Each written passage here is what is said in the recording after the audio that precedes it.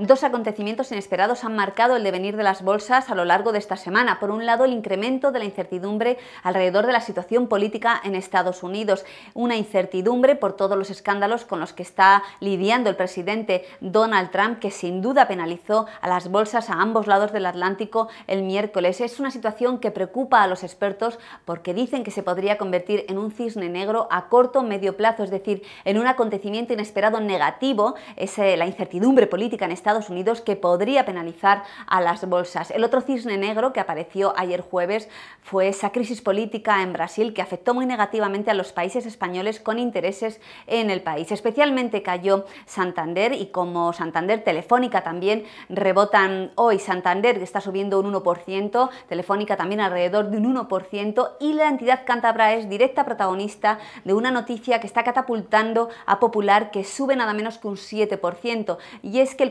confidencial ha publicado que Santander habría contratado a Citi para presentar una oferta vinculante a principios de junio por Banco Popular. Popular, que ha sido protagonista a lo largo de la semana y que a pesar de las subidas de hoy acumula caídas importantes a lo largo de estas cinco jornadas. Fuera del plano empresarial, fuera del plano internacional, tenemos que hablar de la política local porque la semana terminará el domingo con esas elecciones primarias en el Partido Socialista. Habitualmente la política local no tiene prácticamente impacto en el devenir del IBEX 35, pero son varios los expertos importantes que han dicho que si gana Pedro Sánchez será muy negativo para la economía española. Vamos a ver si el IBEX cotiza el resultado de esas primarias el lunes. El IBEX 35 que acumula en estos momentos una caída del 1% en la semana. Ayer respetó ese soporte de los 10.530 puntos. También respetaron soportes Santander, Telefónica y BVA y de momento buenas perspectivas.